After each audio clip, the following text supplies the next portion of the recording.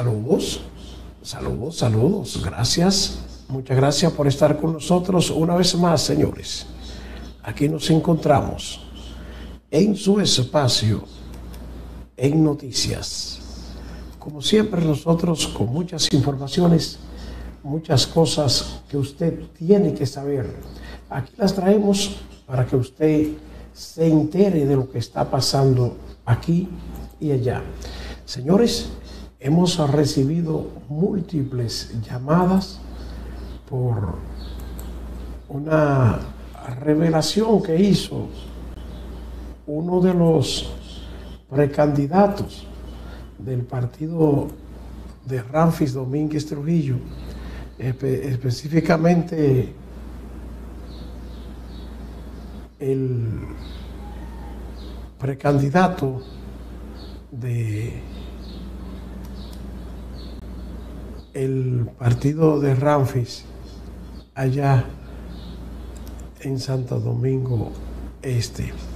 El aspirante a la alcaldía de Santo Domingo Este por el PEP, Juan Evangelista Navarro, pues hizo una revelación en este canal en donde él afirma que Rafael Leonidas Trujillo Molina no murió el 30 de mayo de 1961 en Santo Domingo, como dice la historia, sino él plantea que ese día los que esperaban a Trujillo para ejecutarlo mataron al doble de Trujillo, porque según él, Trujillo utilizaba un personaje llamado Wenceslao para desviar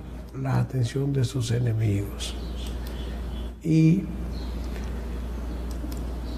este personaje, dice este señor Juan Evangelista Navarro, se desplazaba en el carro de Trujillo como si fuera Trujillo para confundir a los contrarios a Rafael Leonidas Trujillo. Y que ese día al que mataron fue a Wenceslao. Y que Trujillo habría salido protegido por Estados Unidos hacia un país a disfrutar sus últimos años de vida y a estar tranquilo después de poder salir con vida. Y dice que muchos años después falleció Trujillo en España, donde según él fue sepultado. Esto ha despertado interés de mucha gente que ha estado llamándonos y corroborando, corroborando con esta historia y diciendo que así es como este Señor contó. Y esto nosotros lo hacemos en este canal porque nos interesa que la gente conozca la realidad de lo que pasa en el mundo. Gracias, muchas gracias por estar con nosotros en esta entrega del Puerto TV en Noticias. Enseguida vienen las informaciones en detalles.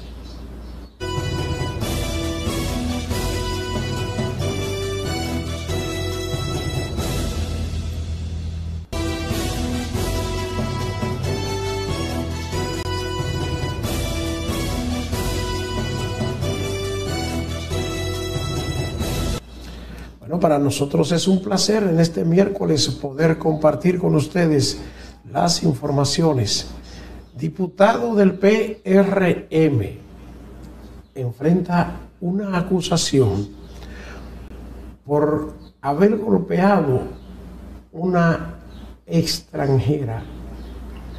El diputado Gregorio Domínguez ahora enfrenta una nueva acusación por este haber golpeado una extranjera. este diputado que ya ha estado en otro caso, tiene ahora que enfrentarse a esta otra situación acusado de golpear una extranjera. Ahí está la segunda tanda de la película del diputado Gregorio Domínguez. Las autoridades acusaron al diputado por Santiago del PRM, Gregorio Domínguez Domínguez, de agredir físicamente a la ciudadana norteamericana Ana Bella Starnes y su pareja ya fallecida. De acuerdo a la acusación, en mayo de 2021, tanto Ana Bella como su esposo, mientras atravesaban por un camino rural entre las convergencias de la calle Duarte y Gregorio Luperón cuando fueron interceptados por el legislador y un grupo de personas, entre ellos su esposa, con armas de fuego. El documento señala que los desaprensivos colocaron bloques en los neumáticos del vehículo de los norteamericanos para que estos no pudieran escapar y luego procedieron a agredirlos a ambos y aplastando todos sus dispositivos electrónicos para que no quedaran evidencia de lo acontecido. La señora Starnes terminó con lesiones en el rostro, el hombro y las piernas, además de un daño psicológico producido al retenerle por dos horas y amenazarlas aún después de haberle propinado golpiza. El Ministerio Público acusa al diputado Domínguez Domínguez que está siendo también acusado por el Ministerio Público de violación a los artículos 309, 3091, 3093, acápites B, C, E y F, que castigan la violencia contra la mujer en todas sus formas y el artículo 310 del Código Penal Dominicano en perjuicio de la señora Starnes, según el expediente. El acta de acusación tiene fecha del 24 de julio del 2023. Las autoridades también realizaron una solicitud de apertura a juicio y es realizada por la Procuradora Adjunta de la Procuraduría General de la República, Isis de la Cruz Duarte, y el Procurador General de la Corte, Melquíades Suero, ante la Suprema Corte de justicia. Ahí está.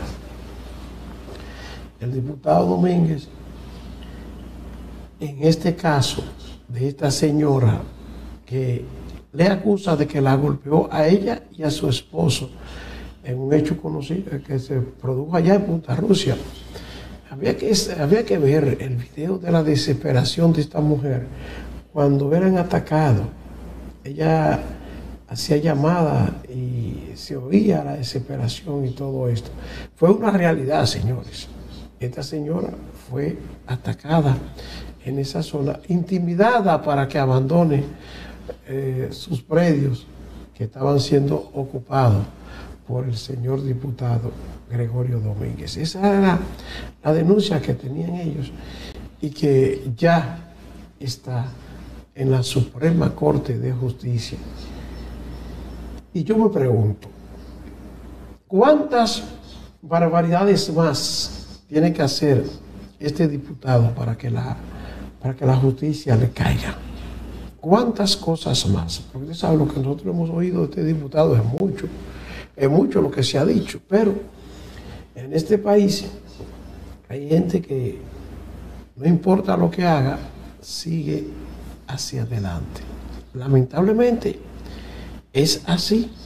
La cosa en este país marchan de esa manera. Por lo pronto, este diputado tiene esa grave, pero grave dificultad con esta investigación que se le está haciendo y con este caso que le están abriendo en la Suprema Corte de Justicia.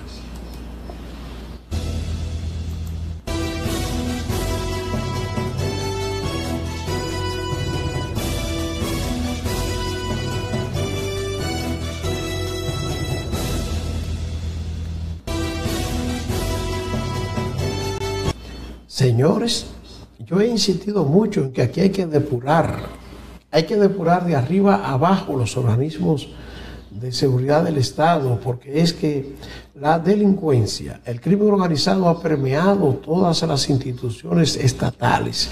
Y ayer, precisamente ayer, la Procuraduría General de la República lanzó lo que llaman la Operación Gavilán. Y ahí en esa operación Gavilán, la Procuraduría apresó, apresó varias personas vinculadas a una mafia, a una mafia que se dedica a borrar, a eliminar antecedentes penales a conocidos delincuentes. En esta operación Gavilán, el Ministerio Público apresó a empleados, fiscales y policías por soborno.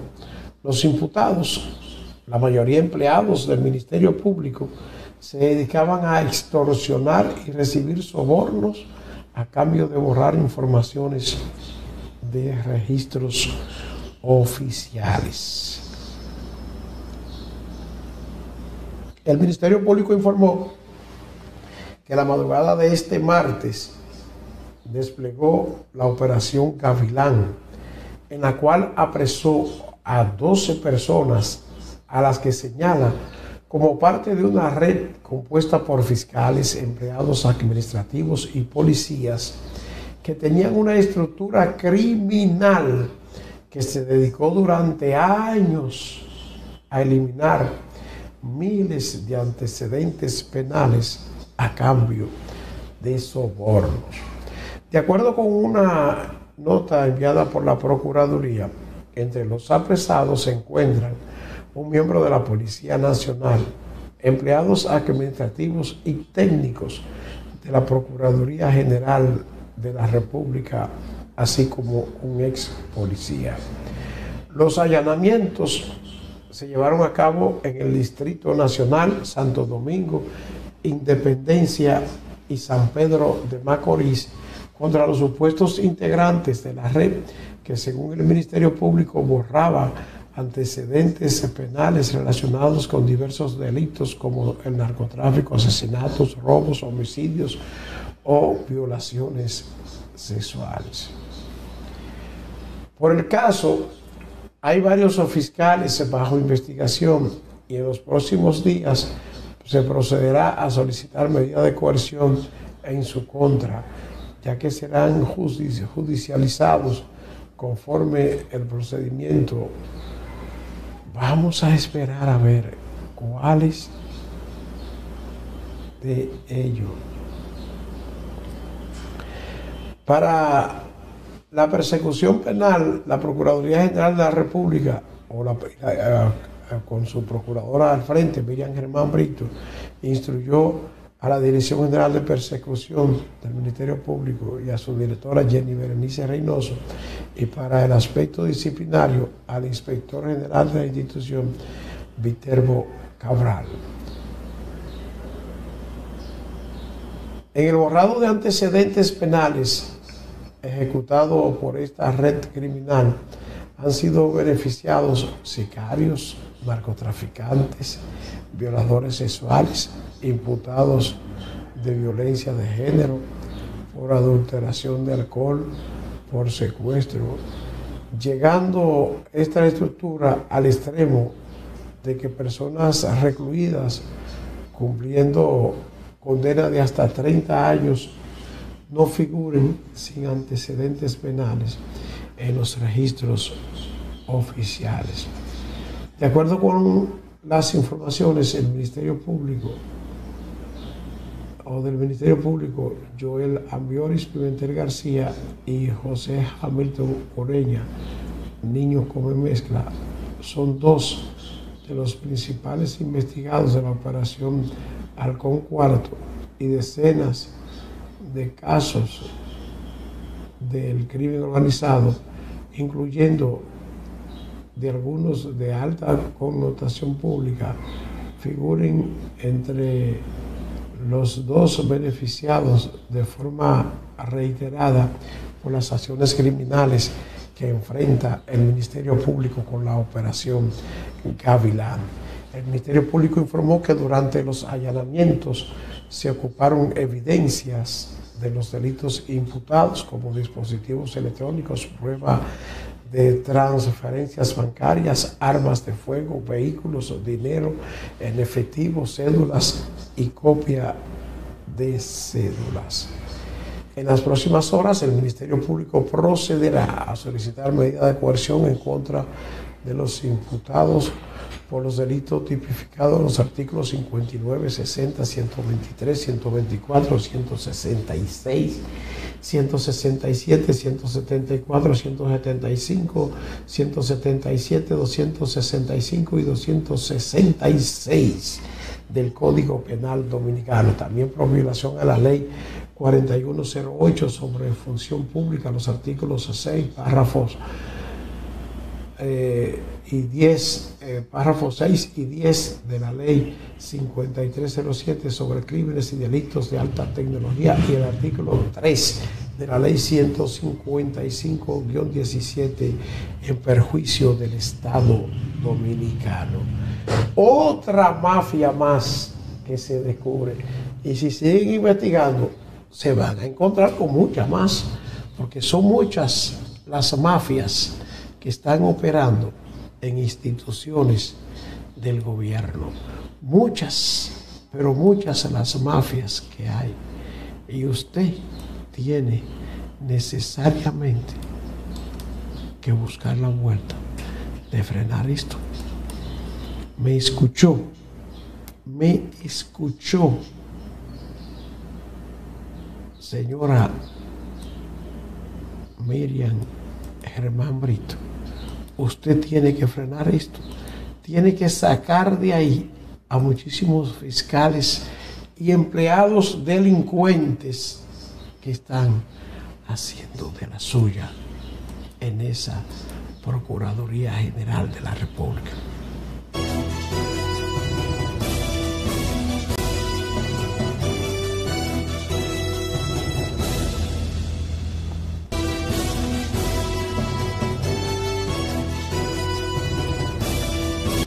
hay más, más y más. Una noticia que uno no la entendió en principio, pero que es una realidad.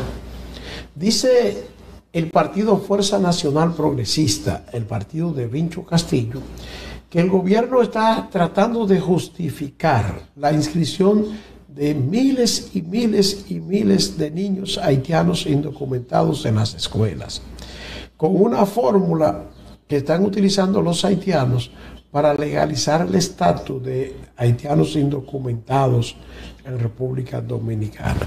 Explican en una rueda de prensa que muchos de ellos lo que buscan es regularizar su estatus inscribiendo un niño en la escuela, inscribiendo un niño en la escuela. Dicen que con un niño que ellos pongan a la escuela, ya las autoridades no pueden, las autoridades no pueden deportarlo. Y como las autoridades no pueden deportarlo, pues ya ese niño que pusieron en la escuela les sirve como un seguro para ellos poder estar en el país. Una preocupación que tiene la Fuerza Nacional Progresista con esta resolución de la, del Ministerio de Educación que ordena inscribir a los niños aunque no tengan documentos. Más preámbulo, vamos a darle la palabra a Vinicio para que lea las declaraciones y después responderemos las inquietudes de ustedes sobre este tema. Muy buenas tardes a todos. Declaración pública de la Fuerza Nacional Progresista. La Fuerza Nacional Progresista anuncia al país que en los próximos días interpondrá un recurso de reconsideración sobre el acto administrativo del Ministerio de Educación de la República Dominicana, MINER, que contiene la instrucción a los directores de escuelas públicas de todo el país para que inscriban a los alumnos sin ninguna documentación relativa a su identidad civil y el acta de nacimiento como es la norma para la generalidad de los escolares, la cual debe ser retractada por ser inconstitucional, ilegal y gravemente lesiva para nuestra nación. El contexto de colapso total de Haití y de su escuela pública, asediada hoy por bandas criminales, ha provocado que más de 500 mil alumnos haitianos en su país queden sin posibilidad de recibir educación. Tenemos informes que ONGs financiadas desde el exterior tienen como propósito incentivar y motivar el traslado masivo de escolares haitianos hacia la República Dominicana, aprovechando como perfecto traje a la medida la instrucción administrativa del MINER, lo que representa una grave amenaza contra la seguridad nacional de nuestro país y de su escuela pública. El traslado de la población escolar de Haití hacia la República Dominicana tendría gravísimas consecuencias, puesto que bastaría a los padres de estos estudiantes penetrar ilegalmente a territorio dominicano e inscribir a sus hijos en la escuela, convirtiéndose esta inscripción estatal en una especie de implícito salvoconducto migratorio que alegarían para tratar de impedir la obligatoria repatriación tanto de los hijos que fueran así inscritos como de los padres o cualquier otra persona que lo haya traído. Ninguna norma internacional puede dejar sin efecto la aplicación de la ley de migración de la República Dominicana, puesto que esta es una facultad soberana y exclusiva de los estados, los cuales tienen perfecto derecho de repatriar a su país de origen a los ciudadanos que penetren a su territorio o permanezcan en él de forma ilegal sin importar su edad. Por otra parte, en cuanto a los niños dominicanos, la medida del Ministerio de Educación igualmente envía un peligroso mensaje equivocado, puesto que desincentiva la declaración de nacimiento de los padres dominicanos a sus hijos para inscribirlo en las escuelas que es una de las razones más importantes que estos tienen en cuenta en cuanto a la necesidad de hacerlo. Lo mismo sucede en relación a los extranjeros que se encuentran legalmente en el país y que tienen la obligación de registrarse en el libro de extranjería. Con relación a los niños y alumnos dominicanos, proponemos que la Junta Central Electoral en, coordinación con el Ministerio de Educación y las escuelas públicas, implemente con los oficiales del Estado Civil los esfuerzos necesarios para dotar a los niños y alumnos dominicanos de su primer derecho humano, que es el de la identidad civil, que le acompañará el resto de sus vidas, que tiene que ser real, y jamás falsa o inventada por la escuela pública dominicana, que no puede asentar en ningún registro un nombre y apellido que no sea el verdadero.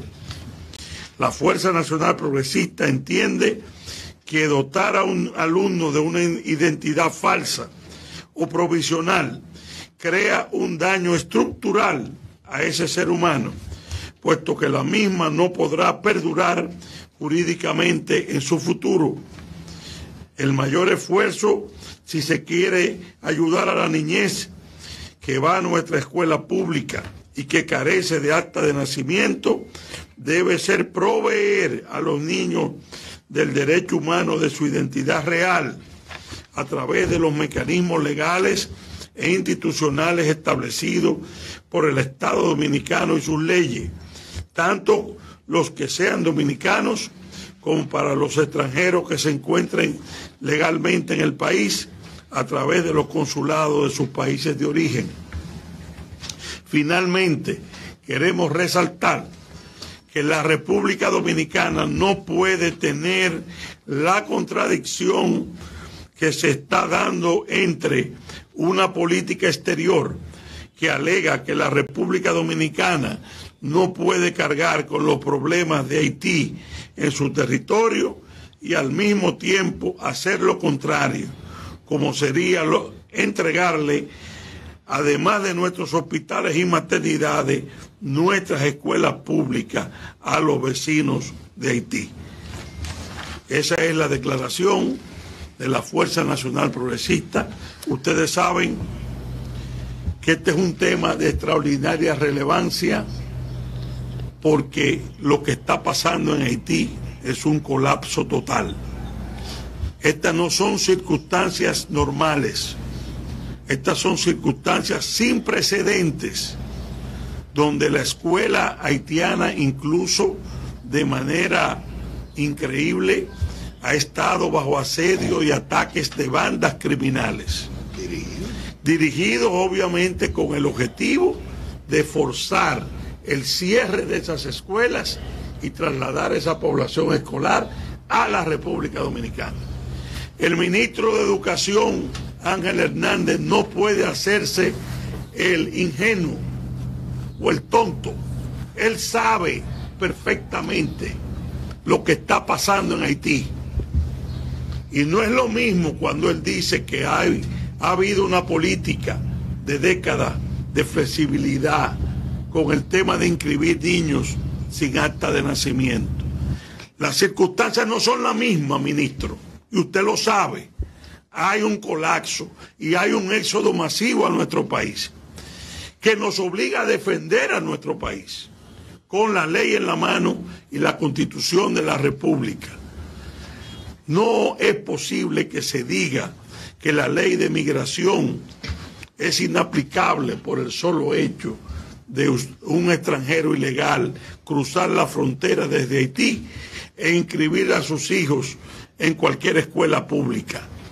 Eso es una barbaridad que se quiera antijurídica, antijurídica e inconstitucional, y, que más bien sería un llamado de nuestro país para que vengan todos. Nosotros tenemos obligaciones eh, internacionales, pero ninguna obligación internacional puede atentar contra la soberanía, ni puede verse los derechos a la educación como derechos absolutos todos los derechos constitucionales están regidos y reglamentados por leyes adjetivas. Y bueno, ahí está. Ahí está el planteamiento que están haciendo en la Fuerza Nacional Progresista.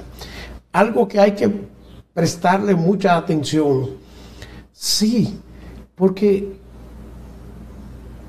sería como un arma de doble filo el tratar de proteger a esos niños, pero también estamos protegiendo a los padres que se quedarían en República Dominicana de manera irregular. Vamos a esperar a ver qué hacen las autoridades para evitar que esto no se produzca, porque dicen en la Fuerza Nacional Progresista que van a llevar esto hasta donde sea necesario porque no van, no van a permitir que esto ocurra. No van a permitir que esto ocurra. Señores, estamos viendo cosas, muchas, pero muchas, muchas cosas con este caso. Esperemos a ver qué sucede. Esperemos a ver qué pasa con esta tragedia.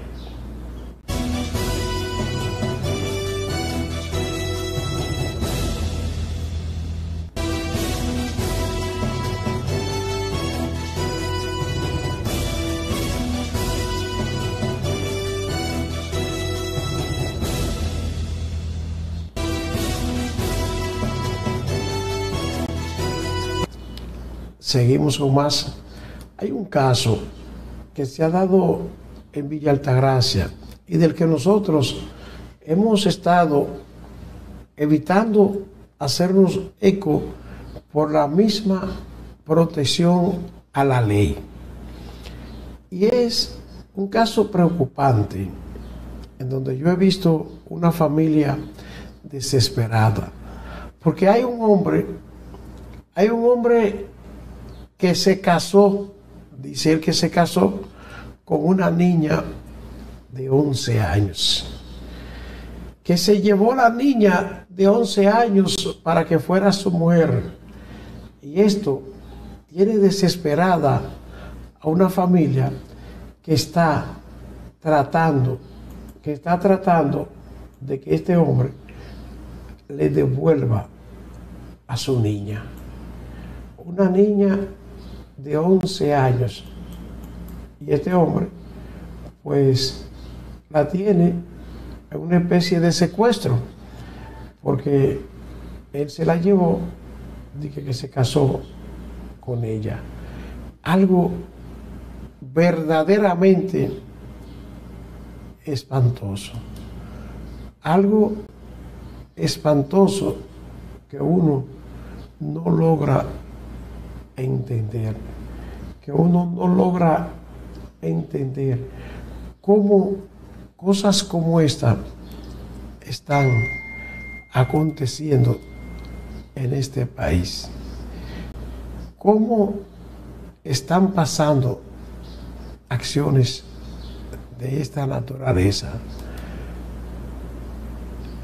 Secuestro de una niña, sí, porque no se puede calificar de otra, de otra forma que no sea un secuestro. Secuestro de una niña de 11 años. Esto pasó en el sector conocido como Quijaquieta y fue un hombre de 27 años el que se llevó esta niña. Entonces los familiares de esa niña denuncian que fue secuestrada por un vecino de 27 años que alega se la llevó en calidad de su pareja en la comunidad Quijaquieta de Villa Altagracia. La niña de quien se resguarda el nombre por asuntos legales había acudido a la residencia de Rodolfo del Rosario alias Pilón, para ayudar a su esposa, solo identificado como Yamilet, debido a que esta última había tenido un accidente y se le dificultaba movilizarse sola. La pareja les había pedido permiso a los familiares el pasado 16 de julio. Esto dicen que accedieron porque entendían que hacían un bien. La niña siguió acudiendo a la casa aproximadamente durante cuatro días. El quinto día, la niña regresó a la casa de la pareja y tras durar más horas de lo habitual, la abuela los llamó para que le enviaran a la menor. Sin embargo, esta nunca regresó.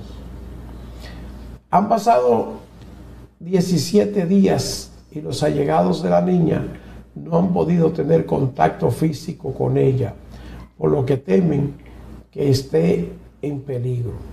El mismo día del hecho, alias Pilón le envió una nota de voz a una tía de la niña asegurando que se había casado con ella. Eso es un hombre que tiene su mujer, por lo que ella también tiene que responder por la niña. ¿Qué es lo que quieren con ella? Eso es una niña, una bebé, expresó entre llanto la abuela de la menor. Precisa la abuela que también recibieron un video de la niña en la que ésta decía que se había ido de la casa porque estaba harta de su familia y que también estaba pasando hambre, lo cual fue negado por sus parientes. En el video, la niña dice cosas incoherentes que no suceden en la familia, cosas que yo sé y siento dentro de mí que quisiera escucharla a ella directamente decírmelo, dice la abuela. Nos sorprendieron, nos dejaron en shock, estamos en tristeza porque sé que las cosas no son así, dice esta abuela, a precisar que notó que Pilón puso algo en la cara de la niña para que la hacía para que la hacía aparentar una mujer. En contra de Pilón hay una orden de arresto desde el pasado 20 de julio, por lo que la jueza del juzgado de instrucción del Distrito Judicial de Villa Taracia impuso esta orden. Sin embargo, las autoridades mm, no han podido encontrarlo. Esta fue definida por sus parientes como una niña cariñosa, incapaz de decir las palabras que pronunció a través del video, por lo que aseguran que lo hizo obligada. La madre de la niña murió hace seis años, por lo que desde entonces una tía y sus abuelos se han encargado de cuidarla. Las autoridades de la Dirección Central de Investigación de la Policía Nacional, la Dirección Especializada de Atención a la Mujer y Violencia Intrafamiliar e Investigaciones Criminales y la Unidad de Trata de Personas están investigando este hecho. Piden a Rodolfo del Rosario entregarse por las vías que entienda pertinente y devolver a sus familiares a la niña.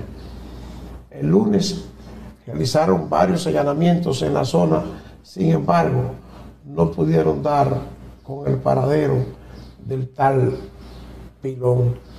Señores, este es un delito que se comete con frecuencia en República Dominicana, que se comete con frecuencia en este país de adultos que, que se casan con niñas, que eso está penado.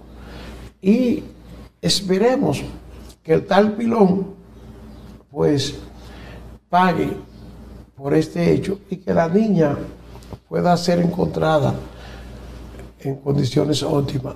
Ojalá que puedan los familiares reunirse pronto con esta niña y que las autoridades hagan, hagan ese trabajo que tienen que hacer para que esa niña regrese a su casa.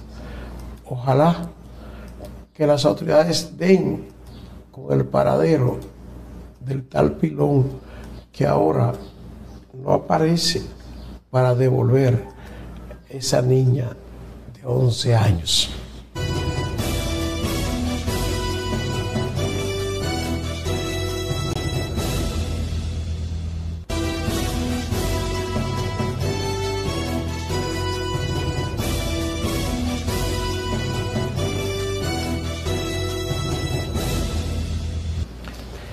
Seguimos con más, más y más del contenido de este espacio que siempre trae las grandes noticias. Señores, siguen las dificultades en los hospitales y clínicas de este país porque los médicos van a seguir realizando paros. Están convocando a otro paro ahora de 48 horas para la próxima semana. Los médicos dicen que ni el gobierno ni las ARS han querido atender sus reclamos.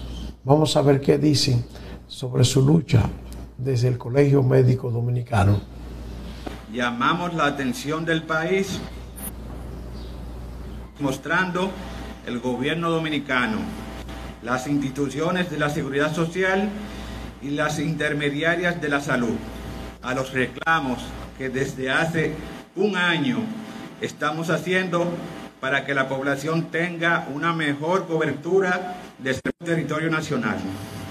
El nivel de, eh, de cumplimiento por los profesionales de la salud a este llamado refleja nuestra firme disposición de seguir exigiendo con acciones más contundentes las demandas que a pesar de 11 meses de negociaciones aún no tienen respuesta. Anunciamos que la semana próxima estaremos suspendiendo los servicios de consulta y procedimientos electivos a nivel público y privado, donde no se estarán recibiendo los Solo queda el camino de la lucha. Le recordamos a las autoridades que su indiferencia y poca disposición para mejorar la salud de la población está colocando en situación de vulnerabilidad a todos los afiliados de la seguridad social. Reiteramos estos paros escalonados que hemos iniciado continuarán de forma ascendente. Esperamos que antes del miércoles de la próxima semana se nos formule una, propuesta viable para alcanzar un acuerdo. O el siguiente más contundentes y acciones más directas con algunas administradoras de riesgo de salud, incluyendo las públicas y privadas. Nuestros reclamos siguen siendo, primero, ampliación y mayor cobertura del plan de servicios de salud, otorgamiento de códigos a los profesionales de la salud. Quinto, mejoría de los honorarios que pagan las ARS a los médicos. Sexto, inclusión de otras especialidades en el catálogo de servicios de salud de la Seguridad Social. Colegio Médico Dominicano y el Consejo Nacional de Sociedades Médicas Especializadas.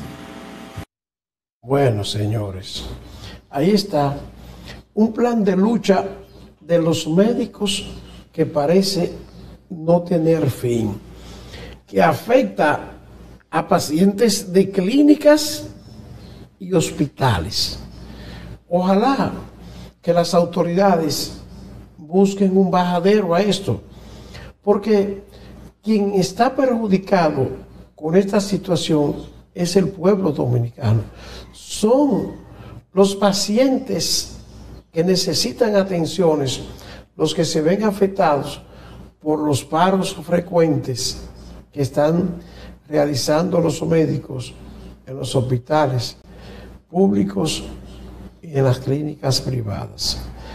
Tanto que se ha hablado y no hay absolutamente nadie que diga vamos a ponerle fin a esto, vamos a arreglar la situación, señores de la ARS, vamos a hacer lo que hay que hacer, ustedes páguenle mejor a los médicos, vamos a tratar de que los médicos no tengan contratiempos y que puedan ofrecer su servicio permanente. Pero no se logra. No se logra esto. Y por el contrario, lo que siguen son los episodios de trabas, las dificultades y las acusaciones y contraacusaciones a los médicos Y cada vez que los médicos anuncian un paro, viene por ahí una andanada en contra de los médicos.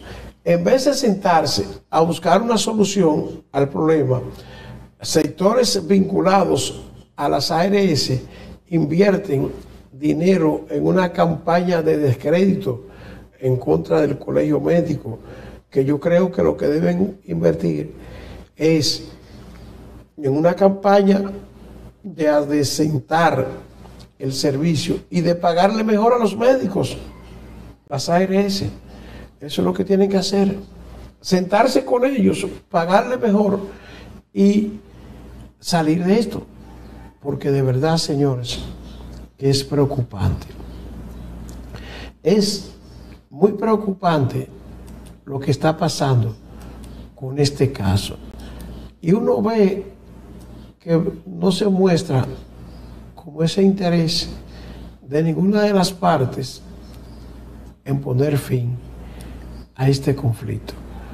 Yo creo que alguien tiene que aparecer para mediar, porque hay empleados del sector salud que le está yendo muy mal. Hay médicos a los que le va muy mal. Y ellos están esperando que algún arreglo se pueda hacer con las ARS, que ganan muchísimos millones, miles de millones de pesos por el trabajo que realizan los médicos. Los médicos realizan el trabajo y quienes cobran son los dueños de las ARS.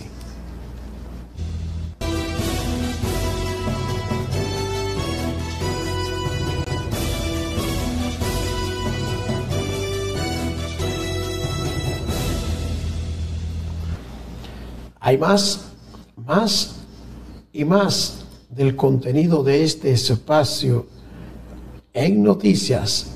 Señores, avanza el tiempo. Hoy es miércoles, miércoles 2, 2 de agosto del año 2023. Y estas son las noticias más interesantes de este día.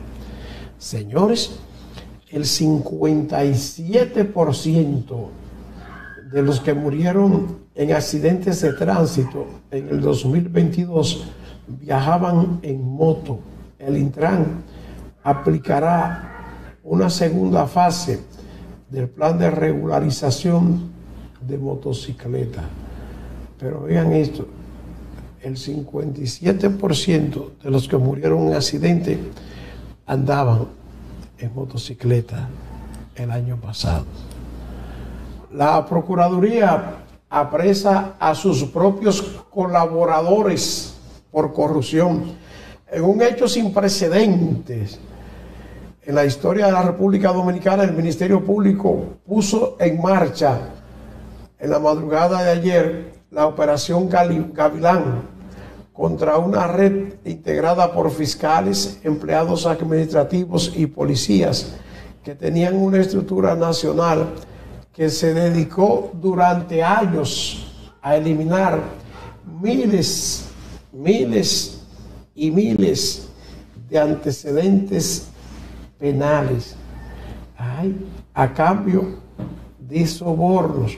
Según dice la Procuraduría, se realizaron allanamientos en el Distrito Nacional y en las provincias de Independencia y San Pedro de Macorís, donde se arrestaron 12 personas, incluyendo un miembro de la Policía Nacional empleados administrativos y técnicos de la Procuraduría General de la República. Ay, ay. Pero miren esto, señores. A la J, el acusado de amenazar a Miriam Germán, fue uno de los que le borraron la ficha, de lo que pagó para que esos empleados de la Procuraduría le borraran la ficha los imputados, la mayoría empleados del Ministerio Público, se dedicaban a extorsionar y a recibir sobornos a cambio de borrar información de registros oficiales. Por eso que la J no aparece con ningún registro oficial.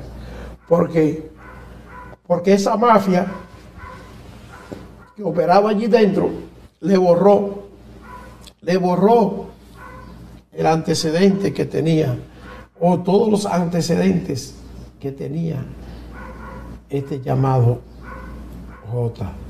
¿Usted ha visto cosas iguales? Ay, Dios mío, pero cuántas se ven aquí. Comisión de la ONU que se encontraba en Haití cruza a República Dominicana. La agencia incluye agenda que ellos tienen aquí en República Dominicana. Incluye un recorrido por áreas fronterizas entre Juana Méndez en Haití y Dajabón en República Dominicana. Bueno, ahí están los enviados de la ONU que están pues adelantándose a lo que viene. Supérate, emplea a mujer que trabajaba como limpia vidrios para mantener a sus hijos. Bueno, ojalá que todas consigan que hacer. Promulgan ley que ordena uso de lengua de señas en actos oficiales y televisión. Bueno, ahí está el uso del lenguaje de. Ay, señores, invitaciones a paradas de República Dominicana en Nueva York fueron vendidas ilegalmente para obtener visas. Un grupo de los afectados llamó a la embajada para denunciar el tema de las cartas y que debido a esto el proceso fue cancelado. Usted me escuchó que debido a esto el proceso fue cancelado. Ay. Etivi Santana, miembro de la parada dominicana en el Bronx, aseguró que una mujer a la cual identificó como Jocelyn Espinal vendió las cartas de invitación a la parada por mil dólares cada una. Dichas cartas permitirían a personas de Montecristi utilizarlas para solicitar visas de paseo en la embajada. Santana indicó que Espinal fue a las oficinas de la organización junto a Víctor José Crespo, alcalde de Villa Elisa en Montecristi, y confirmó que cobraron por las cartas. El alcalde de Villa Elisa, Víctor José Crespo, junto a la señora Jocelyn Espinal, fueron a la oficina diciendo que debíamos devolverles su dinero porque ellos dieron 18 mil dólares para la carroza y tenían esa deuda. Ella pidió 30 cartas y las vendió a 30 personas. Ella lo dijo ahí en la oficina, dijo Santana, asegurando, asegurando que la propia señora fue quien mencionó la cantidad que cobró. Ella cometió un fraude ahí, porque esa carta no es para pedir dinero. Si usted quiere invitar a alguien de su entorno para que participe con usted, se la entrega como regalo. No es para venderla, expresó Santana. Indicó que la parada no cobró a nadie por las cartas de invitación y que tiene pruebas de la cantidad de cartas que Espinal solicitó para su gente. También dijo que otras 400 cartas fueron falsificadas en Montecristi. Ay, ay, qué lío con la parada dominicana y estas invitaciones. Proyecto de, de modificación al presupuesto general incluye monto para seis obras más. Entre los proyectos está la construcción de la verja perimetral en la frontera y la ampliación de la línea 2 del metro de Santo Domingo. Ahí está. Señores, el 50% de la población mundial padecerá de trastorno mental, según un estudio. La mitad va a ser afectado. Qué cosa esta. Bueno, la lepra se ha vuelto endémica en el sureste de Estados Unidos. Diputados ven necesario modificar código procesal penal porque la fiebre no está en la sábana. Comienzan contra, contratos sobre la misión de evaluación que Kenia enviará para participar en Haití. Ministerio Público acusa al diputado Gregorio Domínguez de agresión contra extranjera. Hombre ultima a su cuñado de un machetazo. Esto ocurrió en San Cristóbal. Señores, gracias. Muchas gracias por su atención. Si Dios lo permite, mañana regresamos con más informaciones en este espacio en noticias. En breve, en breve viene el programa en la Biblia. No se lo pierda.